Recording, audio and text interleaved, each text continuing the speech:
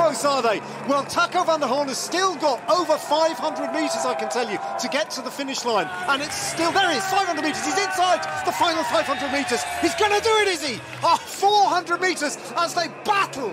They battle against all the odds as Consonni brings round Elia Viviani. Now they go through 500 metres. Viviani's going to have to sprint. He catch Taco van der Hoorn on the line? You're standing up, Matron. I look to see him. 200 metres, and now he dares to check Taco van der Hoorn. He's got 100 metres, if not more. The road rises up a little bit, and Taco van der Hoorn covers his mouth in disbelief. He's done it! Bravo, Taco van der Hoorn! That is fantastic bike riding, and that is by far, by far the biggest win of his career.